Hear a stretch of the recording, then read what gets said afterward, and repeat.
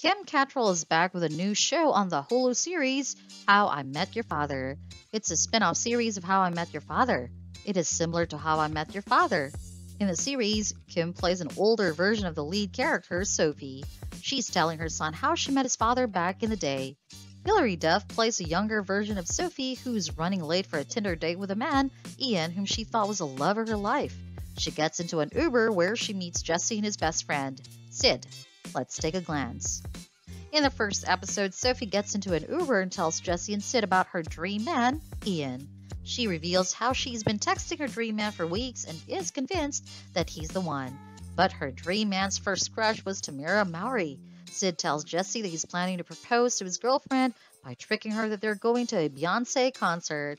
Sid says he will propose to her at his bar, Pemberton's. Sophie leaves and Sid tells Jesse that he has a crush on her but denies it. Jesse proposed to his ex, but that didn't go as planned. Meanwhile, Sophie's first date with Ian goes perfectly until Ian drops a bomb. Her dream has broken into pieces when he says he's moving to Australia. Older Sophie says she ran to her best friend Valentina when her heart broke. At the time, Valentina was a bit busy. She brought home a London guy named Charlie from London Fashion Week. However, Sophie was inspired by her best friend's daring that she shouldn't give up on Ian. She realizes she accidentally grabbed Sid's phone when she left the Uber. Sophie, Valentine, and Charlie run to the Sid's bar and nearly destroy the proposal surprise. Older Sophie says she meets Jess's sister Ellen, a divorced lesbian and looking for love in New York City. Sid proposes to his girlfriend. She says yes. Sophie gets back her phone.